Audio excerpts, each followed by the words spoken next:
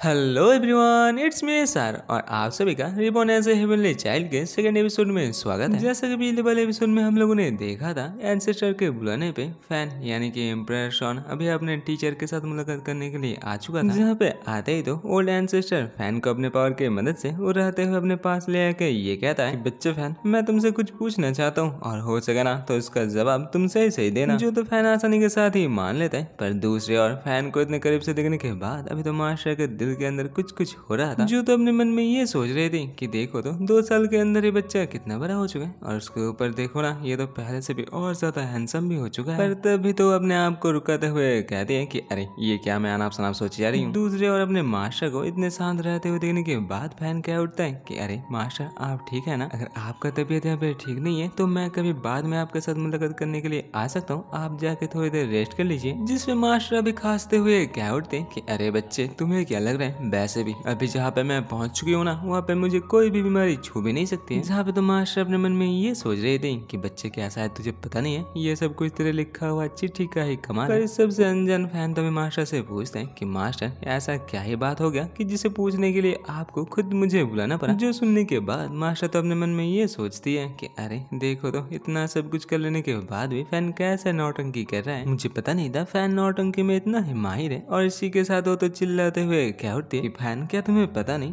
पर तब भी तो वो दो बार से अपने आप को रुकाते हुए सोचती है। क्या पता? अगर मैं फ़ैन को कुछ थोड़े ज़ोर से डांट देती हूँ और अगर इसके वजह से फ़ैन के दिमाग में असर हो गया ना तो उसका कल्टिवेशन तो यहाँ पे डैमेज हो सकता है। और उसके ऊपर से तो अभी फ़ैन छोटा है और इस उम्र में ऐसा वैसा काम करना तो जायज़ ही है। इसीलिए फ़ैन के मास्टर होने के नाते मुझे ये समझ के फ़ैन को सही रास्ता दिखाना पड़ेगा। दूसरी ओर फैंग बच्चों को तो ये पता भी नहीं था कि मास्टर के दिमाग के अंदर आखिरकार क्या ही कुछ खिचड़ी पक रही है। वो तभी मास्टर से पूछता है कि मास्टर देखिए तो अब दोबारा से चुप हो गए। क्या हुआ? मुझे क्या ही पता है। आपने क्या कहा था कि आपके इस डिसेबल से कुछ गलती हो चुका है? जिस पे तो मास्टर थोड़ी सी हगलाते हुए क्या उठती? कि फ़ैन, तुम्हें क्या ये पता है? आज मैं तीन हज़ार साल की हो चुकी हूँ। यानी कि आज तुम्हारे मास्टर का जन्मदिन था। और ये कहने के बाद तो साहिबा खुद ही सोच उठती है कि, अरे, आखिरकार ये मैं क्या ही कुछ न बके जा रही हूँ? और मास्टर का ये सुनते ही तो फ़ैन चौंकते हुए पूछते कि, मास्टर, क्या ये सच है? जहाँ पे तो जनाब फ़ैन अपने मन में ये सोच रहा था कि मैंने कभी सोचा नहीं था कि मास्टर तीन हज़ार साल पुराने हो चुके हैं। पर जो भी बोलो मास्टर को तो देख के तो ऐसा ही लगता है कि मास्टर एक कॉलेज में पढ़ने वाली लड़की और इसी के साथ फ़ैन तो अभी अपने मास्टर को सिर से लेके पैर तक अच्छे से घूम घूम के देखना स्टार्ट कर देता है। पर अच्छे से देख लेने के बाद भी तो अभी तक फ़ैन को ये यकीन नहीं हो रहा था कि उसके सामने वाली ये खूबसूरत लड़की तीन हज़ार साल की है। दूसरी ओर तो मास्टर शर्माते हुए फ़ैन से पूछ उठते कि फ़ैन अभी तो तुम्हें मेरे उम्र के बारे में पता चल चुका है। अभी तुम ही बताओ तुम मेरे बारे में क्या ही सोचते हो? जहाँ पे तो मास्टर अपने मन में ये सोच रही थी कि अभी मेरे उम्र के बारे में उसे पता चल चुका है तो शायद अभी मेरे बारे में उसका सोच चेंज हो सकता है। जिसमें तो फ़ैन थोड़ा सा ज़ोर से कह उठते हैं कि, अरे मास्टर आप ये क्या कह रहे हैं? आप इतने ही खूबसूरत हैं, आपको देख के कोई कहेगा ही नहीं कि आप तीन हज़ार साल पुराने हैं। और उसके ऊपर से आपका एज पता चलने के बाद तो मेरे दिल में आपके लिए जो था, वो और भी बढ़ चुका है। तो यहाँ पे रेस्पेक्ट यानी कि इज़्ज़त के बारे में बात कर रहा था, पर मास्टर को इसके बारे में कहा ही पता था? वो तो अपने मन में ये सोचती है, यार, ये बच्चा क्या बोल रहा है? इसके दिल में मेरे लिए जो था, वो और भी बढ़ चुका है। फिर तो हम लोग को ये पता चलता है कि फ़ैन को तो अभी ऐसा लग रहा था कि मास्टर यहाँ पे उसे इसीलिए बुलाए ताकि मास्टर उसे ये जो जबान रहने का तरीका है ये सिखा सके। लेकिन मास्टर को तो ऐसा लग रहा था कि फ़ैन उन्हीं लोगों के अंदर आता है जिन्हें अपने उम्र से ज़्यादा लड़की कुछ ज़्यादा ही पसंद आती है। और इसीलिए तो मास्टर अभी फ़ैन से कहता है कि फ़ैन मैं देखने में जबान हो सकती हूँ लेकिन मैं सच्ची का तीन हज़ार साल पुरानी हूँ तो तुम्हारे लिए ये तीन हज़ार साल क्या मायने नहीं रखता है? जिसपे तो फ़ैन जो जो वाला सीरियस फेस बनाते हुए कहता है की अरे मास्टर आपको क्या लगता है? मैं कभी भी अपने मास्टर को क्या पसंद कर सकता हूँ। और रही बात आपके उम्र का तो उससे मुझे कोई फ़र्क नहीं पड़ता है। पर हाँ मास्टर अगर आप अपना हर एक दिल का बात मुझसे खोल के करेंगे तो इस डिसाइपल को बहुत अच्छा लगेगा। जहाँ पे तो जनाब अपने मन में ये सोच रहा था कि आप लोगों को तो ये पता ही है कि मैं एक्टिंग में कितना ही माहिर हूँ और आज मैं मास्टर को इतना ही मक्खन लगाऊँगा इतना ही मक्खन लगाऊँगा कि मास्टर खुद ही वो जबान रहने का टेक्निक सिखाने के लिए मुझे उतावला हो जाएँगे। पर खुश होने की जगह तो एंसेस्टर यहाँ पे उल्टा गुस्से के साथ कह उठते कि ठीक है फ़ैन अभी मैं तुम्हारे इरादे के बारे में अच्छे से समझ चुके हूँ। जिसपे तो फ़ैन भी कह उठते हैं कि हाँ हाँ मास्टर, मैंने तो अपना इरादा आपको कब का बता दिया है और मैं इससे पीछे नहीं हटूँगा। जहाँ पर तो फ़ैन अपने मन के अंदर ये सोच के खुश हो रहा था कि एक बार ये टेक्निक मुझे आ तो जाए, भविष्य में इस टेक्निक के मदद से।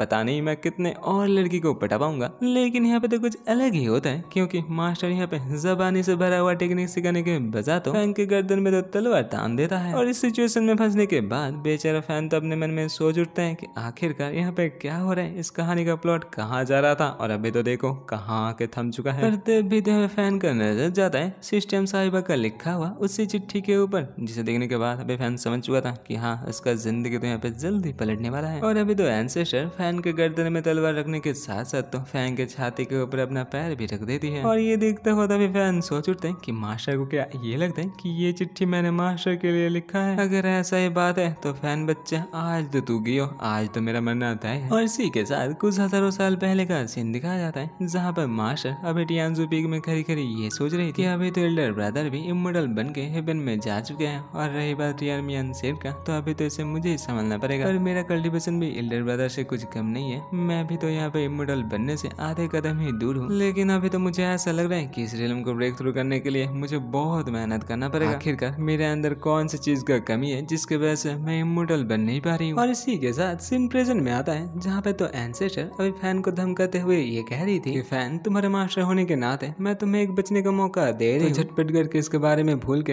अभी माफ़ी मांग लो। और अगर तुम ऐसा करते हो तो मैं तुम्हें छोटी मोटी सह देके तुम्हारा ये जो यादाश्त है इसे मिटा के छोड़ दूँगी। दूसरे और यादाश्त के नाम से तो फैंग यहाँ पे घबरा सा जाता है क्योंकि बच्चे को तो ये डर था। यादाश्त मिटाने के चक्कर में अगर एंसेस्टर को किसी भी तरीके से फ़ैन का ये जो सिस्टम है और इसके पॉइंट के बारे में पता भी चल गया ना तो फ़ैन का ज़िंदगी तो यहाँ पे खत्म ही हो जाएगा। और इसी के साथ फ़ैन तो यहाँ पे हंसता हुआ क्या उठता है कि आप मुझे जाने देंगे। आपको क्या लगता है कि मैं कोई दो टके का इंसान आपके लिए मेरे दिल में ये जो फीलिंग है ये कभी मैं मिटा नहीं सकता। लेकिन अगर आप इसे मिटाना चाहते हैं तो उसके लिए तो आपको मुझे मानना पड़ेगा। जिसमें तो एंसेस्टर फैंग के गले से तलवार हटाते हुए क्या उठते हैं कि अरे बच्चे तुम ये क्या सब अनाप शनाप बके जा रहे हो? तो फ़ैन तो क्या उठता है कि मास्टर आपको सच्ची में ऐसा लग रहा है कि मैं यहाँ पे अनाप शनाप बके जा रहा हूँ? वैसे भी मेरा हर एक बात यहाँ पे मेरे दिल से निकल रहा है। इसी के साथ फ़ैन दो बरस से खड़ा होते हुए क्या उठता है कि मास्टर कभी आपने ये सोचा है कि आप कितने हज़ारों सालों से ना जाने कल्टिवेशन करके आ रहे हैं, पर अभी तक भी आप इमोटल नहीं बन पाए। और ये कह दे दो फ़ैन मास्टर को पीछे वाले चट्टान के साथ लगाते हुए पूछते हैं कि मास्टर इसका मतलब तो आपके अंदर अभी तक किसी चीज़ का कमी है? क्या आपको पता है ये चीज़ कौन सा है? जिसपे तो मास्टर थोड़ा सा शर्माते हुए कह उठते कि, मेरे अंदर कमी है, इसके बारे में तुम्हें कैसे पता होगा? वैसे भी तुम तो एक मामूली से नेशन सोल के कल्टिवेटर हो। जिसपे तो फ़ैन अभी दो बार ऐसे जोरदार एक्टिंग करता हुआ कह उठता है मास्टर आपके अंदर जिस चीज़ का कमी है उसे हम लोग सच्ची का प्यार कहते हैं और इस प्यार से हम सबको पावर मिलता है। क्योंकि प्यार और मोहब्बत ज़िंदगी का सबसे बड़ा दो अनमोल चीज़ है। जो सुनने के बाद अभी मास्टर भी चौंकते हुए सोच उठते है कि क्या प्यार और मोहब्बत सबसे अनमोल चीज़ है लेकिन बहन तुम्हें ये पता चलना चाहिए कि तुम मुझे प्यार करते हो मैं तुम्हें प्यार नहीं करता। हम दोनों के बीच में बहुत बड़ा फासला है और इसीलिए हम दोनों के बीच कुछ होना नामुमकिन है। तो हो सके तो इसके बारे में जितना जल्दी हो सके भूल जाओ। पर फ़ैन बचुआ कहा मानने वाला था जनाब तो अपना ऑस्कर विनिंग एक्टिंग देता हुआ कहता है हाँ मास्टर मुझे ये पता है मैं आपके लायक नहीं हूँ लेकिन मैं अभी ये जो कह रहा हूँ ये मैं अपने तह दिल से कह रहा हूँ। और मास्टर इतिहास भी इसका गवाह है की प्यार का हमेशा जीत होता है। मैं आपको मेरे दिल का बात खोल के कहना चाहता हूँ ताकि हज़ार सालों बाद मुझे पछताना ना पड़े। अभी तो मास्टर यानी कि एंसेस्टर को देख के ऐसा ही लग रहा था कि फ़ैन का ये जो जादू है मास्टर के ऊपर भी अच्छे से ही चल चुका है। लेकिन जनाब फ़ैन कहाँ यहाँ पे रुकने वाला था? वो तो अभी अपने मास्टर को और भी अच्छे से बटाने के लिए नए नए पोएम बनाना स्टार्ट कर देता है। जिसे सुनने के बाद दो सबको ये अभी ऐसा ही लग रहा था की हाँ सच्ची मुच्ची फ़ैन ना अपने मास्टर से कुछ ज़्यादा ही प्यार करता है। जहाँ पर तो पोएम के आखिर में आते आते फ़ैन तो यहाँ पे सच्ची मुच्ची का रोने का एक्टिंग भी कर लेता है। और अभी तो इतना सब कुछ देख लेने के बाद ना सिर्फ़ मास्टर का दिल ही यहाँ पे पिघल जाता है, उसके ऊपर से मास्टर तो यहाँ पे ब्रेक थ्रू करके आखिरकार इमोटल लेवल में पहुँच ही जाते हैं। और अभी तो मास्टर एंसेस्टर के ब्रेक थ्रू करने के वजह से टियानजू पीक से लेके सीधा ये रोशनी आसमान तक चला जाता है, जिसे तो सेठ के हर एक बंदे आग फार फाड़ के देख रहे थे, पर यहीं पर तो एल्डर को दिखाया जाता है, जिन लोगों को भी पता था कि ये क्यों हो रहा है। दूसरे और तो मास्टर को दिखाया जाती है, जो तो ब्रेक थ्रू कर लेने के बाद और भी खूबसूरत देख रही थी, और अब भी यो अपने मन में ये सोच रही थी कि सच्ची मुच्ची मेरे ज़िंदगी में जिस चीज़ की कमी थी, वो और कुछ नहीं प्यार ही था। और इस प्यार के वजह से आखिरकार इतने हज़ारों सालों बाद मैं ब्रेक थ्रू करने में कामयाब हो गई। पर अगर मैं फ़ैन के सच्ची प्यार को समय नहीं पाती तो मुझे लगता है कि मैं कभी भी ब्रेक थ्रू करने में कामयाब ना होती। और यहीं पर तो जनाब फैंग भी खड़ा हुआ था जो तो अभी अपने मन में ये सोच रहा था कि आखिरकार मैं कौन हूँ मैं कहाँ हूँ और खड़ा हूँ तो इस लड़की के सामने क्यों खड़ा हूँ? बड़े बहना तुम अपने मन में क्या सोच रहे हो? थोड़ा सा बात साथ तो करो तो मुझे पता हुए तो चले कि क्या तुम सच्ची में मुझे मानना चाहते हो। अभी तो यहाँ पे आंसर तेज़ी से फ़ैन की तरफ़ बढ़ने लगता है जो देखता हुआ अभी फ़ैन बच्चे अपने मन में ही सोचता है कि जिसके बारे में मैं सोच रहा था अभी वही होने वाला इसी के साथ वो तो डर का मारा अपना आँख बंद करते हुए सोचता है कि फ़ैन के बच्चे इस दुनिया में आने के बाद तेरा जो कहानी था वो आखिरकार खत्म होने वाला है। पर जनाब फ़ैन को चौंकाते हुए एंसेस्टर उसे मारने के बजाय उसके होठों के ऊपर एक जोरदार पप्पी दे देती है। जो पाने के बाद फ़ैन भी अभी सोच उठता है की आखिरकार उसके साथ ये क्या हो रहा है। इसीलिए तो बेचारा भी हकलाते हुए पूछता है की मास्टर ये आप क्या कर रही है? तो एंसेस्टर और भी ज़्यादा ज़ोर से शर्माते हुए क्या उठते हैं कि, अरे फ़ैन, देखो तो अभी तक तुम कैसे मुझे मास्टर कह रहे हो? जो सब कुछ सुनने के बाद अभी तो फ़ैन अपने मन में खुश होता हुआ सोचता है कि क्या आखिरकार मैं सफल हो गया। तब भी तो एंसेस्टर क्या उठते कि, फ़ैन, मैं तुम्हें एक मौका दे रहा हूँ। वैसे भी तुम्हें पता है, अभी तुम्हारा कल्टिवेशन का लेवल बहुत ही कम है। मुझे शादी करने के लिए तुम्हें और भी मेहनत करना पड़ेगा, क्योंकि तुम्हें तो अभी पता है, मैं ब्रेक थ्रू करके मॉडल लेवल में पहुँच चुके हूँ। इसीलिए अगर मैं इस रिलम में रहना भी चाहती हूँ, फिर भी मुझे नौ साल के अंदर ही ऊपर रिलम में पहुँचा दिया जाएगा। तो अगर सच्ची मुच्ची तुम मुझे शादी करना चाहते हो तो झटपट करो झटपट करके एक मॉडल बन जाओ। और तुमने थोड़ी देर पहले ही कहा कि तुम मुझे यहाँ तह दिल से प्यार करता हूँ इसीलिए मैं तुम्हारे ऊपर भरोसा करती हूँ। मैं भी तुम्हारा तरह हज़ारों साल बाद पछताना नहीं चाहती। और अभी तो अपने मास्टर से ग्रीन सिग्नल पाते ही फ़ैन सामने आते हुए कहता है कि मास्टर ना ना मास्टर नहीं। रन तुम फ़िक्र मत करो मैं बहुत गहरी मेहनत करके जल्दी तुम्हारे काबिल बन जाऊँगा। जो जनाब तो अपने मन में ये सोच रहा था कि मुझे पता नहीं था कि तीन हज़ार सालों पुरानी टियन मैनसेट के एंसेस्टर भी मेरे जहाज़ में इतना आसानी के साथ आ जाए लेकिन तुम लोग जो भी बोलो, मुझे तो अभी ऐसा ही लग रहा है कि आहिस्ता आहिस्ता करके भी हो। मैं अपने मास्टर को कुछ ज़्यादा ही चाहने लगा हूँ। इसी के साथ नेक्स्ट दिन टियन मैन स्क्वायर का सीन दिखाया था, जहाँ पे तो एल्डरों के बुलाने पे सारे के सारे डिसाइपल आ खड़ा हो चुके थे। फिर तो ब्रदर चैन के पास दो और डिसाइपल को दिखाया जाते, जिनमें से एक लड़की क्या उठते कि पता नहीं यहाँ पे क्या हो चुका है कि एंसेस्टर ने खुद हम सबको यहाँ पे बुलाया जिस पे तो दूसरा वाला डिसेबल क्या उठता है कि मुझे तो तुम्हारे बारे में पता नहीं, लेकिन हाँ मैं जब यहाँ पे आया था ना, तब मैं एक बहुत ही पावरफुल यानी यान रिलेम के बीस्ट के साथ फाइट कर रहा और अगर आज मुझे यहाँ पे बुलाया ना जाता ना तो इतने देर तक तो मैं उस यान यान रिलेम के डिमोनिक बीस्ट को अपने काबू में ही कर लेता। अब भी तो यहाँ पे एक लाल बालों वाले डिसेबल क्या उठते हैं कि हाँ हाँ सबको ही पता है यहाँ पे बड़े चढ़ के बोलना बंद कर दो। वैसे भी ये तो दो दिन पहले का ये बात है जब तुम शॉर्ट शेड के जूनियर सिस्टर के अपॉर्चुनिटी चुराने के चक्कर में पकड़े गए थे। बच्चे मैं अगर वहाँ पे तुम्हें बचाने के लिए टाइम पे ना पहुँचती ना तो तुम तो कुट कुट के कोटू लाल ही हो जाते। हैं जिसपे तो वो लड़का कह उठता है कि सिस्टर जाओ ये सब कोई ना आपका ही गलती है। क्या पता अगर आप उस दिन ना जाते तो मैं ही उल्टा उन सबको पीट देता। और ये सब कोई तू तू मैं मैं देखते हुए फोर्थ एल्डर तो सोच उठते हैं कि हाँ बोलना पड़ेगा। इस जनरेशन के डिसाइपल ना कुछ अनोखे ही तभी तो वो चिल्लाते हुए सबसे कहते हैं कि तुम सब यहाँ पे चुप हो जाओ रे। वैसे भी तुम सब यहाँ पे बाहर अपने अपने काम में बिज़ी थे और तुम सबको यहाँ पे बुलाया गया ताकि ताकि तुम सबको एक बहुत ही खुशी का खबर दिया जाए। जो सुनते ही तो अभी जाओ क्या उठते कि सच्ची में कौन सा खबर है जिसके लिए हम सबको यहाँ पे जल्दी जल्दी आना पड़ा। दूसरे और चैन को दिखाया जाता है। जो तो अभी ये सुनने के बाद अपने मन में ये सोच रहा था कि क्या ये सब कुछ उसी चिट्ठी के बारे में हो सकता है? क्या ये सब कुछ सच्ची मुच्ची ब्रदर फ़ैन और एंसेस्टर के बारे में है?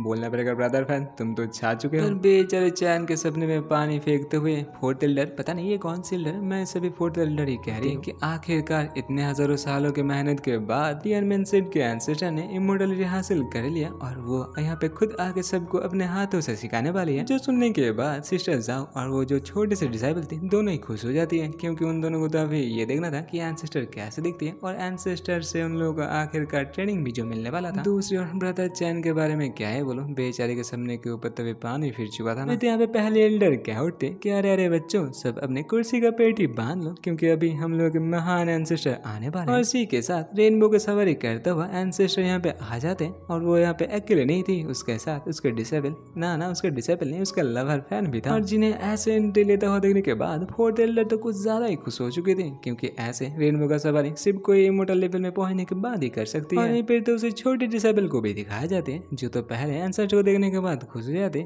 पर एंसेस्टर के साइड में जो हैंडसम फ़ैन था उसे देखने के बाद तो बच्ची का खुशी अभी आग फट के बाहर आने लगता है। इसी के साथ फोर्थ एल्डर के साथ साथ तो पूरा का पूरा डियारमैन से सभी एक साथ नीचे झुकता हुआ एंसेस्टर को रिस्पेक्ट देना स्टार्ट कर देता है पर तब भी तो यहाँ पे फ़ैन को दिखाया था जो तो अभी तक चुपचाप खड़ा हुआ था जिसे देखने के बाद तो पहले एल्डर क्या उठते हैं कि अरे बच्चे, क्या कर रहे हो? देख नहीं रहे हो? हम सब यहाँ पे एंसेस्टर के सामने झूठ रहे हैं। तो चलो, तुम बिचर पड़ करके झुक जाओ। अभी तो यहाँ पे फ़ैन को बचाने के लिए एंसेस्टर क्या उठते हैं कि, अरे, मैंने तुम सबसे कहा था कि सबको यहाँ पे इकट्ठा कर लो। मैंने कभी नहीं कहा था कि मुझे यहाँ पे कुछ रिस्पेक्ट चाहिए, या फिर तुम सबको ऐसे मुझे ग्रेड करना पड़ेगा। जो सुनते तो बेचारे डरते हुए माफ़ी मांगने लगती और इसी के साथ वो तो अभी सारे डिसाइबल से चिल्लाते हुए क्या उठते हैं कि, तुम लोगों ने सुना नहीं एंसेस्टर ने क्या कहा? चलो, तुम लोग भी झटपट करके खड़ा हो जाओ। अभी तो यहाँ पे एंसेस्टर फोर्थ को सामने बुलाते हुए कहती है कि, बोलना पड़ेगा बच्ची, तुम तुमने अपना काम तो बहुत ही बारीकी से निभाया लेकिन अभी मैं मॉडल होने के बाद बाहर आ चुकी हूँ। और तो ये जो सेक्ट है, इसे तुम कुछ दिन के लिए मेरे ऊपर छोड़ सकते हो। और यहीं फिर तो एम्पर ये भी कह दे कि फ़ैन का ये जो टाइटल है इम्प्रेशन यानी कि प्रिंस का, वो भी यहाँ पे कोई भी आसानी के साथ, मेहनत के साथ अभी ले सकता है। और हाँ तक था इसी के साथ ये वाला एपिसोड होता है खत्म। अगर आप लोग को ये वाला एपिसोड अच्छा लगे तो लाइक कमेंट और हाँ जोरदार तरीके से सब्सक्राइब करना भी ना भूलना। मिलते हैं और एक नए एपिसोड के साथ, तब तक के लिए टाटा बाय बाय और हाँ सही हो नारा